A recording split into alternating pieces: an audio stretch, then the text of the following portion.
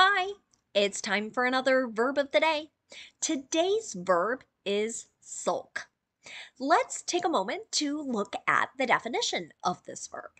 The verb sulk is used to describe uh, someone's behavior, their attitude, and it's when they are silent, they're gloomy, they're bad tempered, and they're generally uh, having these, these feelings because they are annoyed or possibly disappointed.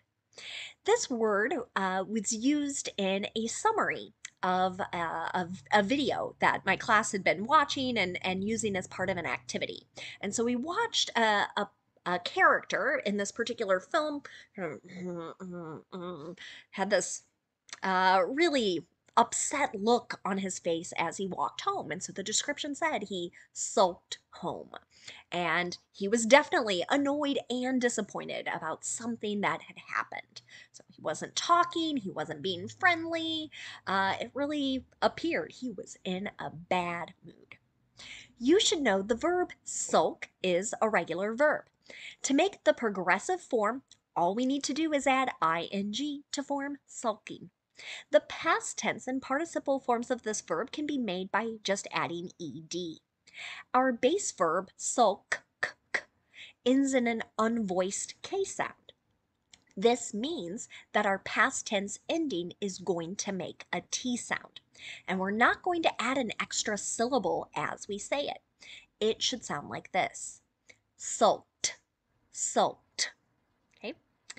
Now, there's one phrasal verb, or, or really two, I guess, um, that you might encounter. They have the exact same uh, meaning. So you might read about someone sulking about or sulking over, and it's it's describing something very similar to that first definition we looked at. So someone is kind of sullen, they're sad, they're silent, maybe kind of resentful um, at, in their attitude or their demeanor, the way they're behaving either because of another person or because of something.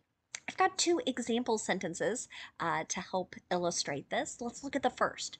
He's been sulking about since he didn't get the lead role in the school play. Okay, so here uh, maybe someone thought, I'm the best actor and I deserve kind of the biggest part, right? And then the person doesn't get it. Like, mm, I'm not going to talk to anybody uh, this is unfair, mm, I'm going to have a bad attitude, right? That's what that sentence is describing.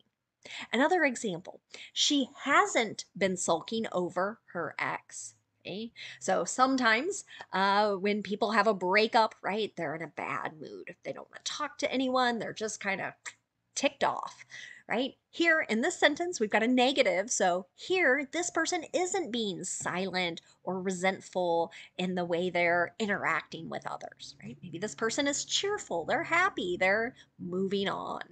Hmm. Now, let's practice our verb of the day in a couple different verb tenses. Today, we'll practice the present progressive, which is also known as the present continuous, and then we'll also talk about the simple future using be going to.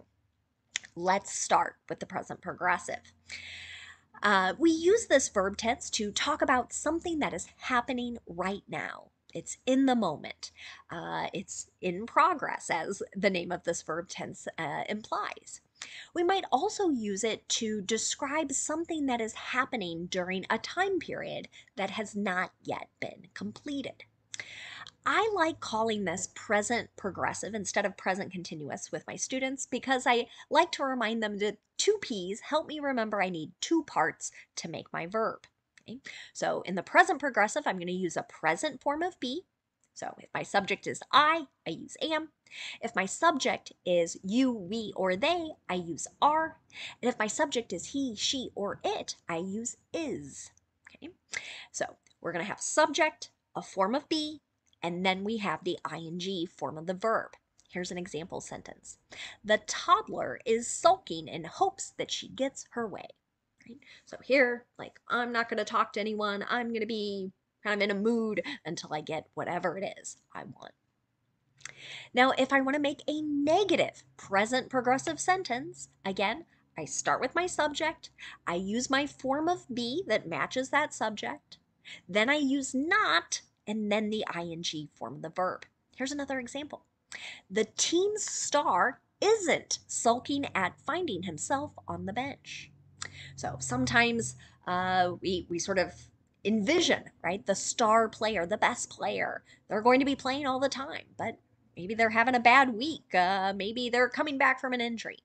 This player, though, isn't in a bad mood, right? This player is uh, just probably being a really good teammate, encouraging others, not letting himself get into uh, a really unpleasant mood. Finally, if I want to make a yes or no question in the present progressive, I start with a form of be, then I use my subject, and then the ing form of the verb. Here's another example. Are you still sulking? Right? So I might say this to uh, a spouse, uh, a very close friend. I, I would never say this uh, to a stranger um, because many times I don't know what has caused them to be in such a bad mood. But with someone I'm close to, right, I might know what it is they're upset about, and I'm kind of suggesting, like, eh, let's get over this and and let's have a better attitude. Let's behave a little more kindly, a little more nicely. Now, let's talk about the simple future.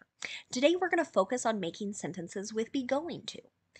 Be going to is most common when we're talking about our plans, but you still might encounter it as people uh, make predictions um, or promises. But plans are the most common.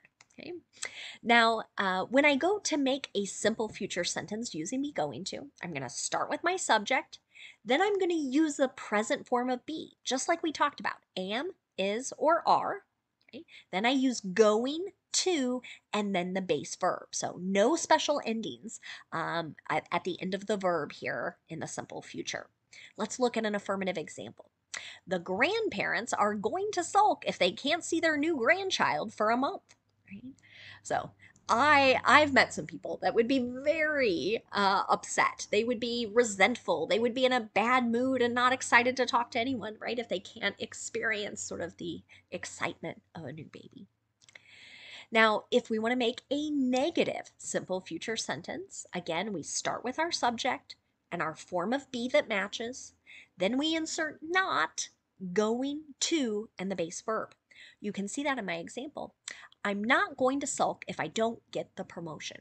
Right? So, um, uh, could be someone's plan, right? Or uh, maybe a, a, bit of a promise and prediction. Could be all three of those things as, as someone's talking about how they might handle some bad news. Finally, let's look at making a yes or no question in the simple future. To do this, we're going to start with a form of be, then we're going to have our subject, then going to, and the base verb. Here's my last example. Are most of you going to sulk the entire day? Now, I never have this experience in any of my classes. I have very cheerful students who are active and engaged, and uh, many times they're laughing and making jokes. Um, but I can I can think back in the past some of my earlier classes where it did it seemed like everybody was going to have a bad day. So I might have asked my class, "Are are we going to sulk all class period?" Hope not. so now let's spend a moment looking at some words that are related to our verb sulk. And the first word we're going to look at is just the noun form of this word. So it has the exact same spelling and the exact same pronunciation. So when I use sulk as a noun, I'm I'm talking about a period of time where someone is kind of gloomy, they're sad, maybe they're bad-tempered, they're silent, right? And all of this is resulting from something that has annoyed them, maybe um, a feeling of, of resentment, like um, I haven't been treated fairly, or the, the right thing didn't happen in this particular situation. An example of uh, this word as a noun in a sentence might be the body language expert had a lot to say about how he is in a sulk. So um, sometimes you see people describing uh, or interpreting what someone else might be thinking or suggesting based on the words, their movements, their tone of voice. So here we have somebody uh, talking about observing someone else being in this gloomy, uh, silent sort of period. Another related word you might encounter is the adjective sulky we use this just to describe someone that's bad tempered or gloomy. Uh, maybe they refuse to be cheerful, to be happy, or to cooperate with something. An example of this he's been in a sulky mood all week. So, hopefully, this isn't describing any of your coworkers or family members because that's not a lot of fun to be around. The last word we'll discuss today is the adverb sulkily. This is describing uh, an action that's being done in a bad mood or maybe being done without speaking uh, because someone is feeling angry, resentful, annoyed, all of, all of these kind of uncomfortable feelings. So, an example of this might be she walked home sulkily. Right? So, here we're describing that, that action of walking. Right? Maybe she's got her arms crossed, which in the US is usually a sign that's that someone is not very open or right head down uh, kind of a frown or, or just a, a not a very friendly look on their face well, thank you so much for watching today's video. I hope no one has or feels the need to sulk through any part of your day. Have a great one.